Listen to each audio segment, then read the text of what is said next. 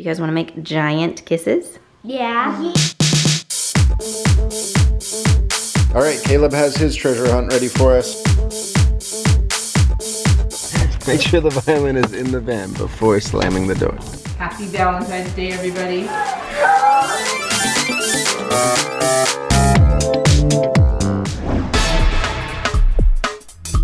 So today's Valentine's Day and nothing shows Kendra love more than decluttering. We're donating some more stuff and we're dropping off a bunch of boxes that have been sitting in our garage. All right, let's unload the boxes.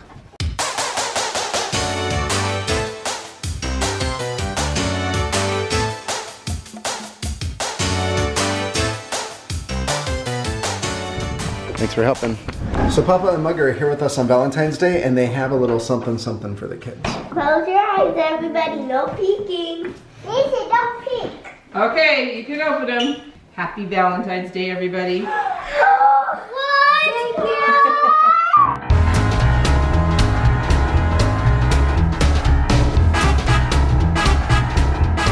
One for you, Jeremy. Sweet. Is it coconut? Oh, Oh, it is.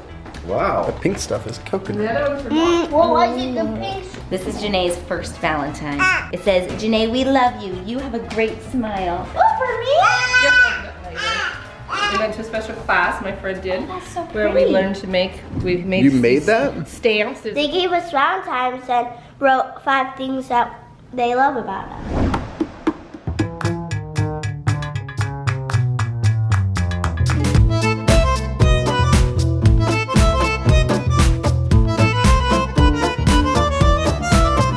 So there's people that we know that have been going through a hard time and we thought it'd be fun to show them love today.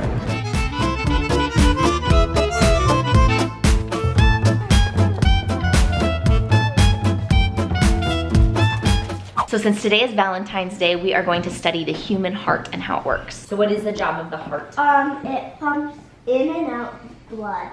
It makes always bleed. It has to do with blood, you're right. Okay, so this is what the heart looks like right here, okay? It doesn't really look like a heart. It looks different than the shape that we draw that's a heart, right?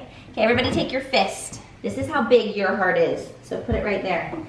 That's where your heart is. Every person's heart is about the same size as their fist. And then this is if you cut the heart in half so you can see the inside. This is what the inside of a heart looks like. I kind of see a heart right here. Like a heart shape, like Yeah. bloop, bloop. So here's the heart, and it pumps fresh oxygenated blood through all your body so that it can keep all of the organs healthy and strong. And it does that through arteries. Um, you can breathe. You breathe so you get oxygenated blood. It's unbelievable. It really is. So here's the heart muscle, and remember these are the arteries that feed the heart itself. If the heart doesn't get oxygen, it can't pump. And if it can't pump, what happens to your whole body?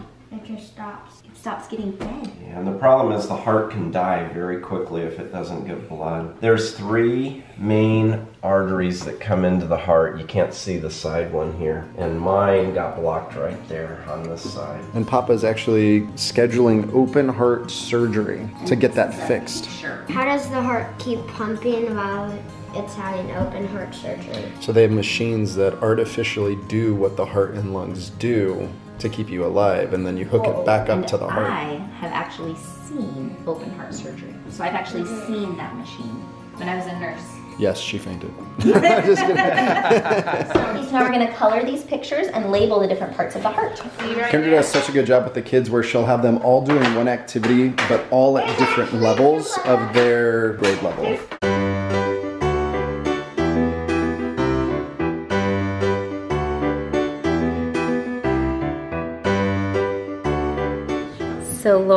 Finished up her heart, but then I turned over the page and discovered this drawing, which I have never seen Laura draw like this before. Did you draw that? It was you? No, Lisi drew it. No, I did. You did? It looks amazing. I love the eyelashes that you put on those people. Thanks. And now she wants to work on this picture of the heart. She did it. See, that looks awesome. So two or three months ago, my dad had a heart attack and he went into emergency surgery and had several stents placed. But further evaluation has shown that he has more blockages going on in his heart. And so we've just found out that in two or three months, he's going to be having another surgery. And this time it's gonna be an open heart triple bypass surgery. So we're learning about the heart and learning about what we can do to take care of our heart. And hopefully this helps the kids understand what's going on with Papa when that time comes. Laura, what are we gonna do? We're gonna put up the bird feeder. The bird feeder. We're trying to decide where to put it. So we're testing different spots outside to see where we can see it from inside. Hey, there it is. Hi, Dad. Okay. Putting the bird seed in. This is like treats for the birds, guys. This side is filled the most. So what's neat about this bird feeder is that it's set up that if squirrels come on, they can't get the seed. It's weighted for four ounces, believe it or not, and uh, birds are under that. So my parents actually got this bird feeder for us for Christmas, so it's fun to get it put up. There it is. There it is. Come birds. Birds, we have food for you. We have a free restaurant. Come and get it. Now we gotta probably sit back and be quiet so we don't scare them. So while we've been dealing with snow, we have a couple days this week that are above 60 degrees. So we're taking advantage of that. Papa pumping up the tires. Yep. We haven't used the bikes for a while with all the snow.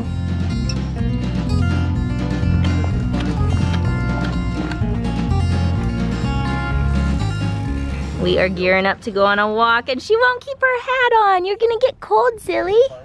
Wow. That was a big jump. One time we went on a walk and we came over here and it was so fun. Yeah, you you love the I memorized it. It's a good memory. So we're going on a walk. My mom's from Arizona, so she's all cold and I'm like, it's nice out today. But I did bundle Janae because even nice in Kansas City this time of year is cold. But she won't keep her hat on. You're a happy girl.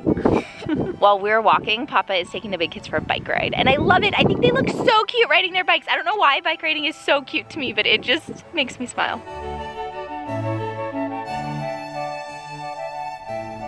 Okay, what did I give you guys? Kisses. Kisses. What kind of kisses are these? Hershey kisses. Yep, they are chocolate kisses. Do you guys know that when I was a little girl one time, my mom, Maga, made giant kisses for us for Valentine's Day? Giant. Do you guys want to make giant kisses? Yeah. Yeah. Giant ones? But they would be Rice Krispie treats. Yes, we're gonna make it out of Rice Krispies instead of kisses, but we're gonna make it look just like this. Do you think that's possible? Yeah. You can shape it this big. We'll see. Can we eat it? Once you have both your Rice Krispie treats, you can eat them. Sound good? Uh-huh. Who wants to help me make it? Me. Me. Me.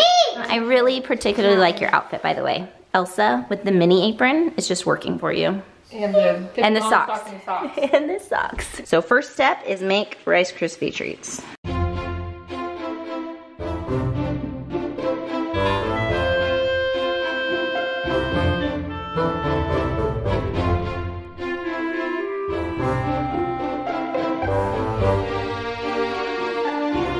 Okay, this way it won't stick to your hands. there you go. Good job. Compact it so that it's tight and squishy. I might need a little more because I'm pushing it down pretty good. Oh, you need to pack it in that much? Yeah, you pack it all the way in. I forgot to butter my own hands. Oops. Laura eats 50% of the time she's making something. it's like, sure, I'll help make it. So now shape it like a Hershey Kiss.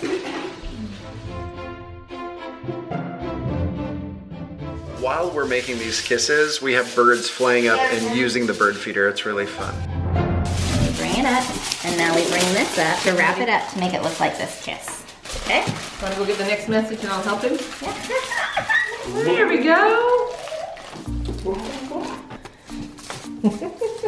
So Kendra wrote little notes to each of the kids. And then you wrap it up. Laura's kiss keeps getting littler and littler. What keeps happening? It's gonna end up being a ball of tinfoil. She's like, what? Wasn't this the idea? Hold it up here. We gotta put this thing up. Now you get to eat. Let the feast begin! Talk. Mm. This is good. It's like the size of your head.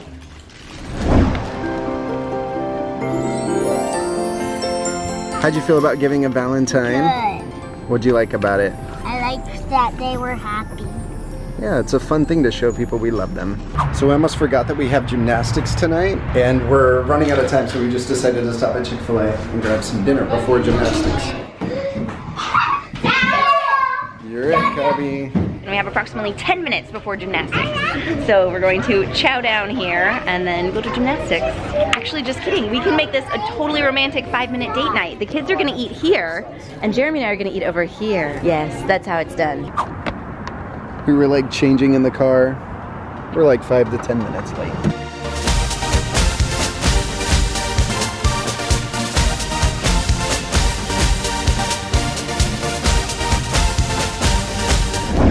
So since we've been home from gymnastics, the kids are all making treasure hunts for each other. Is this yours, Laura? Oh, is that the first note? Do you know how to read scribbles? Yeah, of course. It says it, it's in here. That's what it says? there is candy. No, you don't get to eat it. It's for Caleb. I was just showing you. Oh, That was a good But treasure hunt. I get to do it for everybody else, so I have to hide it. Okay. All right, Caleb has his treasure hunt ready for us. What's the first clue? The first clue is on the side of the table where I did my made my treasure hunt. Go look for it. Is it tape? Whoa! In the cupboard? Yeah. Not in it, it's on it.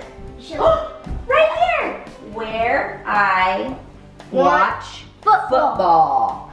Laura, say where me and Isaac sleep. Where me and Isaac sleep. Let's go! On the bookcase. Over here on the bookcase? No, not that bookcase. Oh, the other bookcase. Found it. Where I snuggle with Dad. Dad. Where Laura strolls her babies. In the basement. It's a great treasure hunt, Caleb. Candy! There's six, piece, six pieces. Nini's excited. What's fun about these treasure hunts is the kids worked on them for like 45 minutes. I love that this was the kids' idea. They worked really hard on it, and treasure hunts are actually hard to coordinate. And I'm impressed. Good job, Caleb. Good work. All right, go get your jammies on.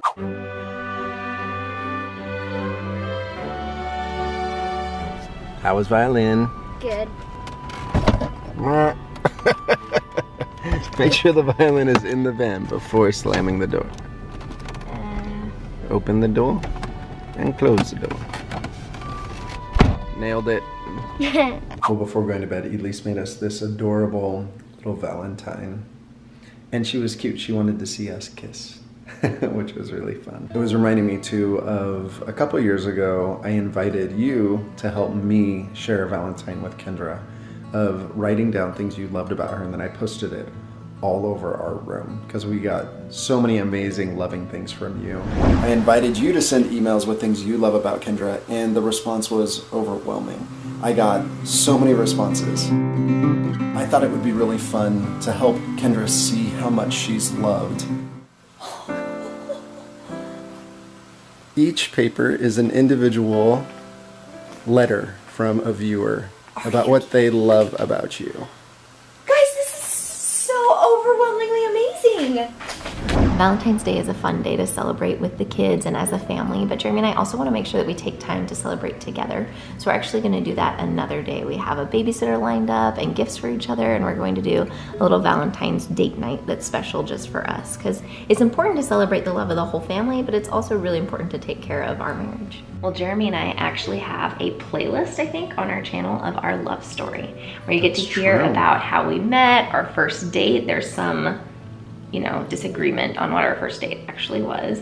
And then our, our first, first, kiss. kiss. So our first if you're interested in hearing more about that, you can check out that playlist. And for now, we're gonna go to bed. Good night. J House out? Thank you.